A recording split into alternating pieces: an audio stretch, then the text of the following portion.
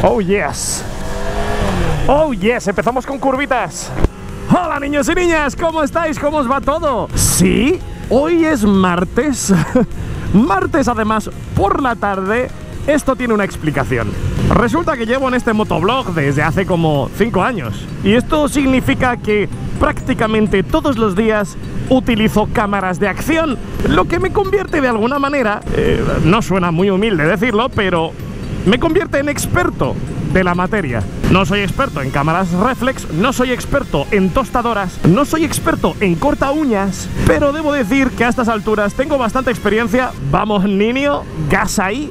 Pero sí que a estas alturas creo que me considero un experto en cámaras de acción. Conozco muy bien cómo funcionan, conozco muy bien cómo las utiliza la gente y como muchos de vosotros venís sabiendo desde hace un montón de tiempo, yo me llevo bien con la gente de Insta360 y no me llevo tan bien con la gente de GoPro.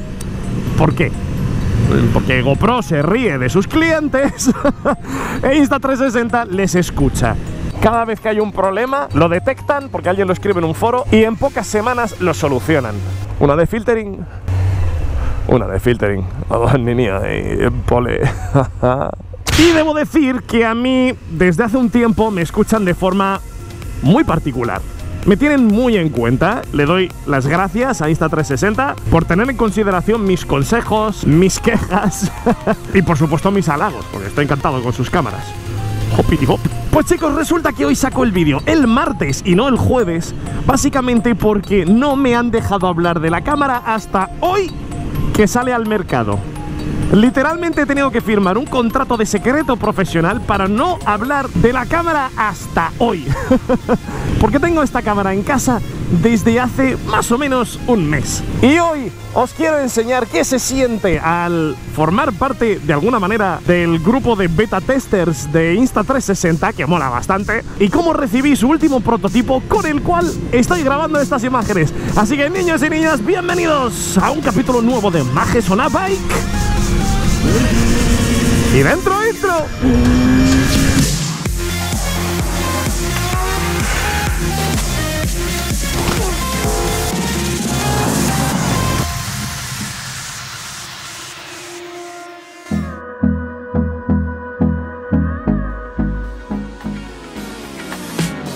Resulta que hace tiempo os comenté un poquito cómo está el panorama de las cámaras de acción y había una cámara de Insta360 que a mí personalmente eh, no me terminaba de gustar.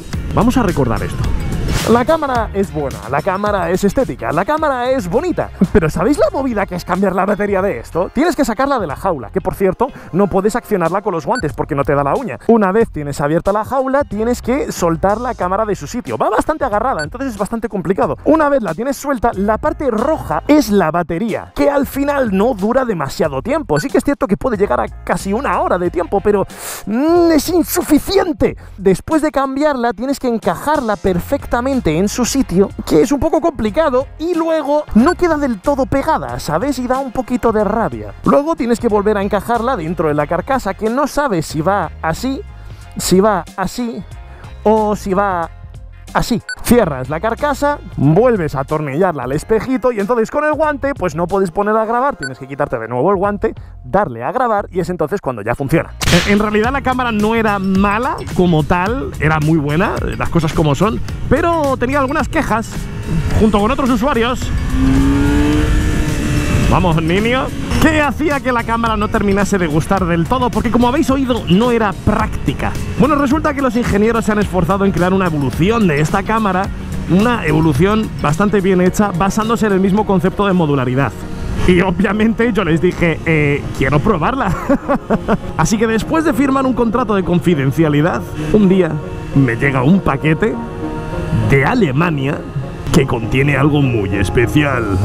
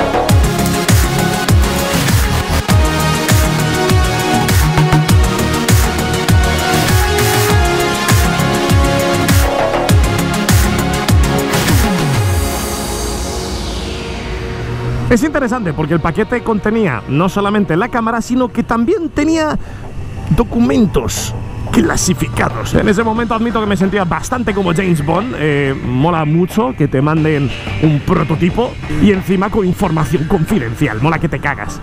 Estos documentos que venían eran básicamente una especie de presentación sobre la cámara orientada a los creadores de contenido. Es decir, pues obviamente te explican todas las novedades, te explican cómo funciona la cámara, te explican absolutamente todo. Sobre todo te explican cuáles son las novedades de esta cámara y te explican cómo utilizarla de la forma más eficiente. Como por ejemplo hoy, que es un día nublado de mierda y aquí estoy grabando este vídeo, pero lleva haciendo nublado y lluvia desde hace como dos semanas, ¿vale? Y no he podido grabar el vídeo en una situación mejor. De hecho, hoy es el único día que no va a llover durante un montón de tiempo. Así que, bueno, espero que se esté viendo suficientemente bien. Hombre, claro que se está viendo muchísimo mejor que con mi GoPro 4, que es este metraje que estáis viendo ahora.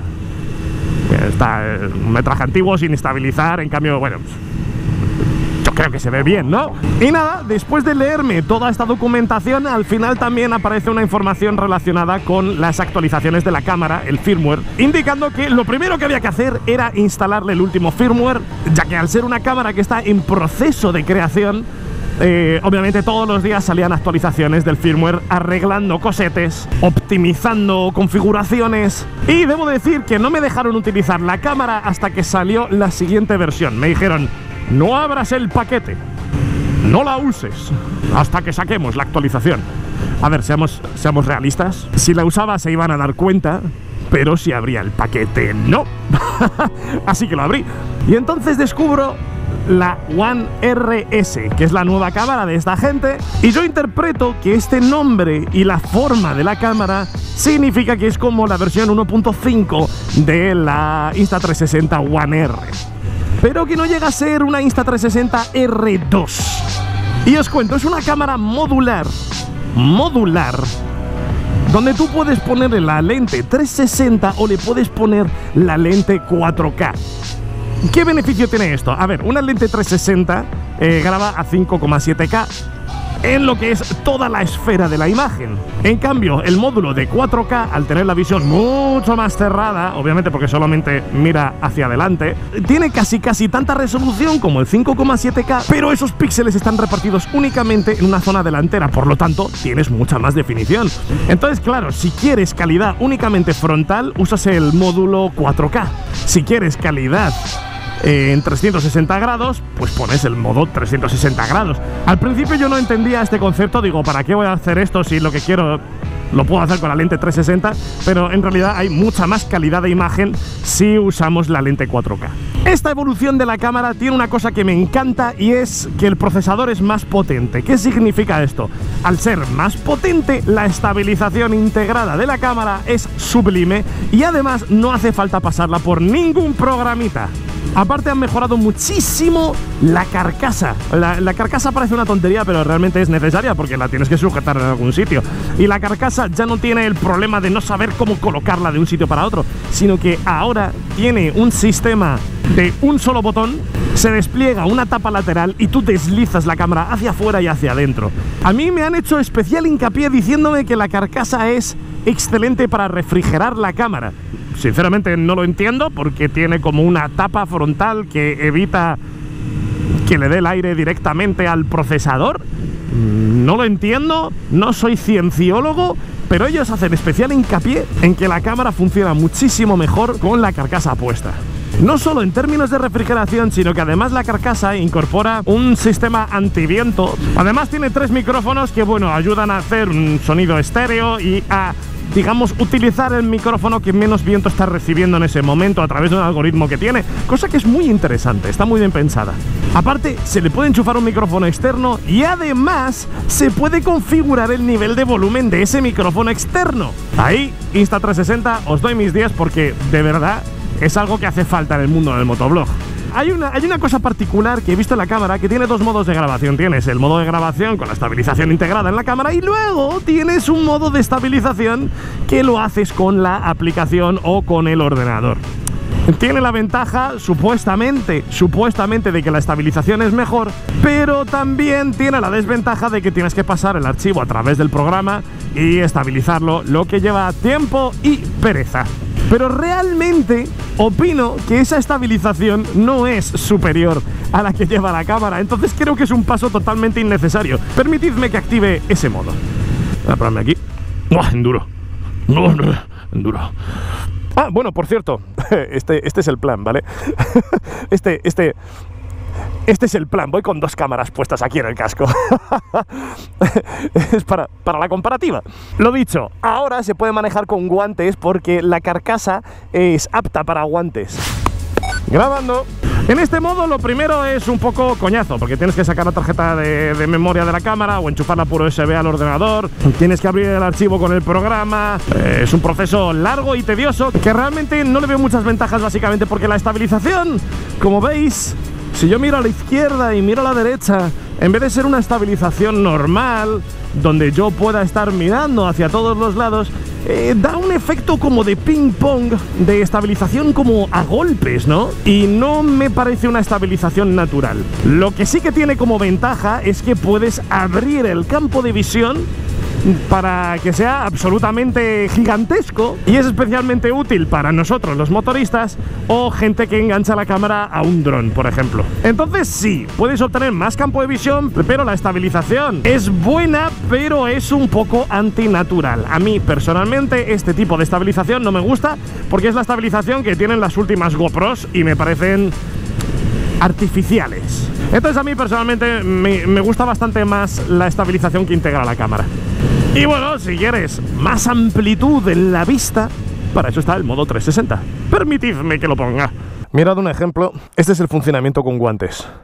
Yo puedo ya pulsar el botón con guantes, cosa que es muy agradable y agradezco enormemente, y puedo apagarla tan tranquilamente. Y lo bueno es que estos botones sobresalen, que haces así, clean, deslizas la cámara hacia afuera y esto es un puntazo. Sacamos el módulo 4K, que además es muy inteligente porque lo puedes poner al revés y de esa manera tienes la pantalla delante. Y vamos a poner el módulo 360 que lo llevo aquí en una funda de gafas y lo conecto ahí. Debajo enchufamos la batería encaja a la perfección de forma magnífica. Limpiamos las lentes porque es importantísimo limpiar las lentes siempre que nos pongamos a grabar e insertamos la cámara en la funda. Es, es tan gustoso meterla en la funda y cierras. Es una maravilla, tío, este sistema. GoPro, aprende de esto, tío. que la GoPro tienes que abrirlo desde aquí, sacar una tapa lateral, no sé qué. Un botón. ¡Plin! Sacas la cámara. Ya está, tío. Esto es glorioso. Es una maravilla. Una vez hecho esto, pues nos ponemos a grabar con el módulo 360 en el casco. Lo que nos va a dar una amplitud del copón, ya veréis. Ok, más o menos este va a ser el plano. Buah, brutalísimo, tíos. Lo bueno de grabar con el módulo 360 es que tienes una amplitud del copón. Y si yo miro hacia adelante, luego en el momento de la edición, yo miro hacia adelante, puedo mirar a ese coche que se va por la izquierda. Bien, es cierto que es un poco complicado porque justo al lado está la otra cámara, entonces, bueno, tapa un poco la vista. Pero si yo miro hacia atrás, puedo ver los coches como pasan y, y, y yo sigo mirando hacia allá. ¿Vale? es un puntazo. Esto es lo mejor que tienen las cámaras 360. No hacer los planetitas ni los efectitos aquellos que, a ver, que una vez los haces, pues dices, mira qué gracioso. Qué simpática la cámara esta. Pero realmente las cámaras 360 lucen porque tú grabas absolutamente todo y si te pierdes algo, luego lo reencuadras con el programa. Han actualizado el sistema de transferencia de archivos por Wi-Fi con el móvil y ahora es bastante más rápido que el anterior. El anterior era un dolor, ahora es bastante más rápido. En mi vídeo anterior, hablando de estas cámaras, algunas personas se han quejado sobre que es mentira, que tarda muchísimo, que luego tarda una eternidad en renderizar. Vamos a ver, tío. Si transfieres 27 gigas a través de la Wi-Fi, no esperes que se vayan a pasar en 10 segundos. Y si va a tardar es un momento excelente para dejar tu adicción al smartphone a un ladito. Coges el móvil, le dices, mira, me preparas este vídeo, te metes el móvil en el bolsillo, la cámara en el bolsillo, y cuando te quieres acordar sacas el móvil, ya está el vídeo listo. Yo si quiero sacar un capítulo de 20 minutos con un programa de edición de vídeo profesional, con un ordenador de última generación, me tarda en renderizar el vídeo por lo menos media hora. ¿Qué pretendes? ¿Que un móvil que te entra en el bolsillo y que no genera calor lo haga en menos tiempo? Seamos realistas, tíos. Va a tardar lo que tiene que tardar. A lo mejor yo soy una persona muy paciente y eso, pero bueno, para eso si no, está el módulo 4K que te graba y estabiliza directamente y no tienes que pasarlo por el programa. Lo bueno del módulo 360 es que tiene estabilización de horizonte, cosa que es muy interesante y cosa que en GoPro, por ejemplo, necesitas comprar un accesorio aparte.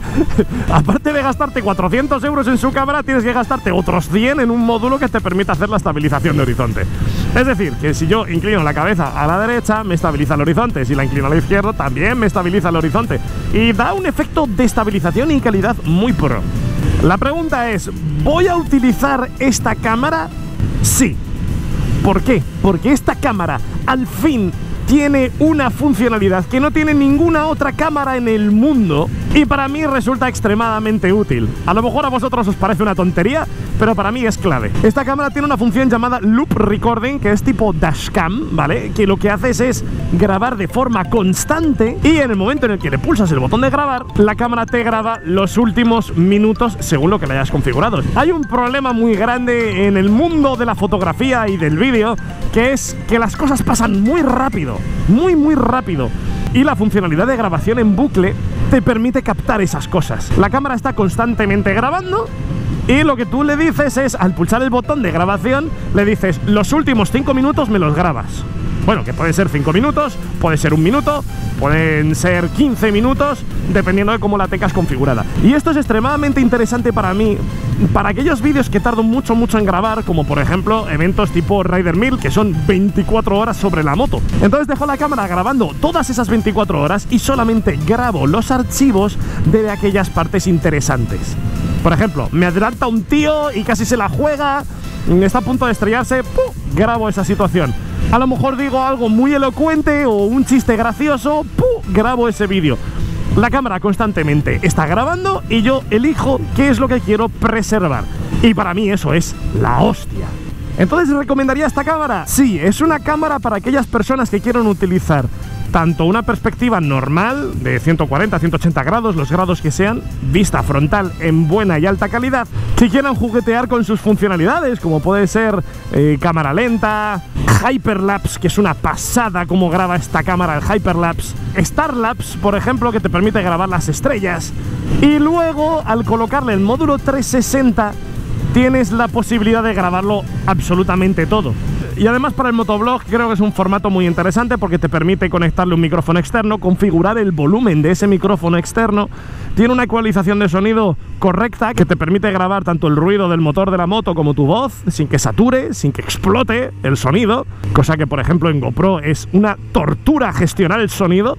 Entonces creo que está muy muy bien. Y yo lo tengo claro, la voy a llevar a todos mis eventos deportivos donde voy a grabar durante un montón de horas por la funcionalidad de la grabación en bucle. A lo mejor para vosotros es una tontería, pero para mí es súper importante. Y me parece que junto con todas las demás funcionalidades, como puede ser la eliminación del palo selfie invisible, la aplicación que tiene inteligencia artificial y edición automática, pues, ¿qué quieres que te diga? Muy, muy recomendable, sin duda alguna. Así que, niños y niñas, hasta aquí el review majes de hoy. Espero que os haya resultado interesante la cámara. Buah, tío, me voy a quedar aquí disfrutando de estas curvitas. Gracias por estar aquí. Y nos vemos, amigos míos. Mira qué puertecito más rico, más sabrosón la semana que viene.